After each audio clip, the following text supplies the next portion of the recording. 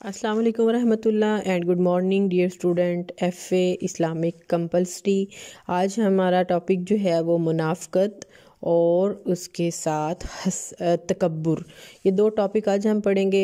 छोटे छोटे टॉपिक हैं, बहुत आसान हैं। मुनाफिक उस आदमी को कहते हैं जो ज़ाहरी तौर पर मुसलमानों, मुसलमान होने का दावा करे, लेकिन उसके दिल में ईमान ना हो और वह इस्लाम को नुकसान पहुंचाना चाहता हो।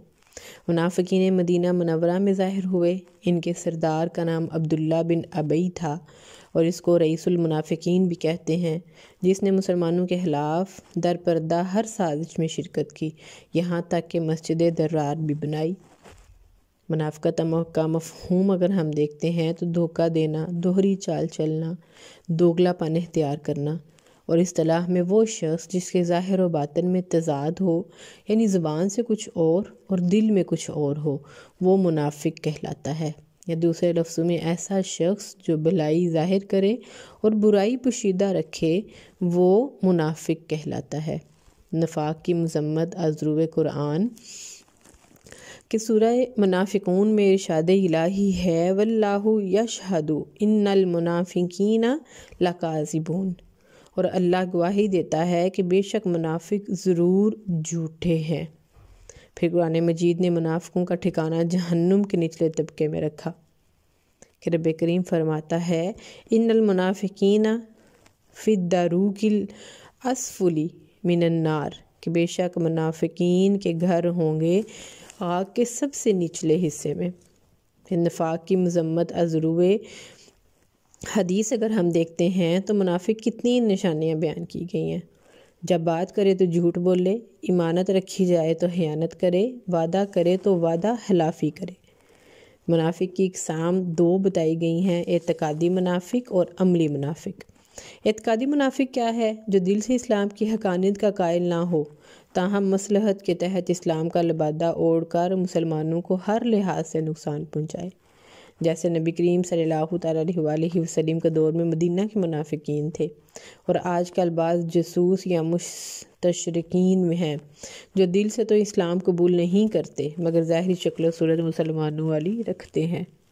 अमली मुनाफिक का जो दिल से इस्लाम कबूल करे, मगर इंसानी कमज़ोरियों की वजह से अमले साले ना करे। जैसे आजकल अक्सर मुसलमानों की सूरत हाल है। कि वो कलमा गो हैं, मगर नमाज़, रोज़े वगैरह में सुस्ती का मुजाहरा करते हैं। नफाक के नुकसान क्या हैं? कि नफाक से इंसान की इज़्ज़त और अज़मत हाक में मिल जाती है। अल्लाह ताला के नज़दीक मुनाफिक नापसंदीदा इंसान है। क़्यामत के दिन भी मुनाफिक की ज़्यादा ज़िल्लत और रसवाई होगी। लोगों का ऐसे फ़र्द से अतमाद उठ जाता है। अल्लाह ताला हमें मुनाफ़त जैसी बुरी आदत से दूर रखे, आमीन। दूसरा टॉपिक हम देखते हैं तकबर तकबर का मफहूम, इसका लगवी मानी, अपने आप को बड़ा ज़ाहिर करना, घुमंड करना, खुद पसंदी का इजहार करना। और इस्तलाह में तकबर से मुराद, माल व दौलत कदोकामत हसब व नस्ब, हसन जमाल और अहदा वगैरह पर अपने आप को दूसरों से बड़ा समझकर, उनकी तहकीर और अहानत करना तकबर कहलाता है। नीज़ हक को जुटलाना भी तकबर है। महलूक़ात में सबसे पहले शैतान ने तकबर किया और अल्लाह ताला की बारगाह से रोन दिया गया।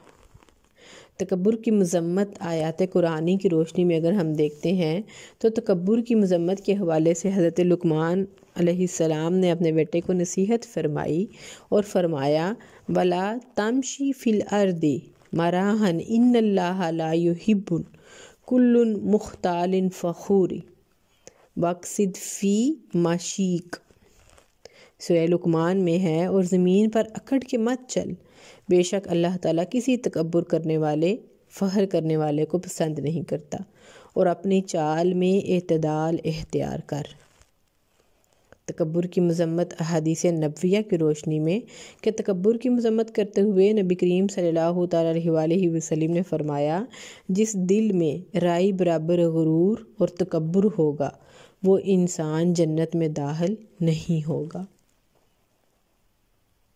तकबर के नुकसान और इसके नतज मगरूर मतकबर इंसान दूसरों को हकीर समझ कर जुल्म ज़्यादती करता है। मुतकबिर गुनाह करता जाता है और ये ख्याल करता है कि मुझे मेरे गुनाहों की सज़ा कौन देगा। मुतकबर मरवत अखवत, एसार और इस किस्म की बहुत सी दूसरी बुलाइयों से महरूम हो जाता है। मुतकबिर जन्नत से महरूम होकर जहन्नुम का ईंधन बन जाता है। अस्तगफिरुल्लाह, अल्लाह ताला इन बुरी आदत से हमें दूर रखे। आमीन। तो हमें याद रखिएगा। अल्लाह ताला आपका और मेरा हामी नासिर रहे आमीन। अस्सलाम वालेकुम रहमतुल्लाह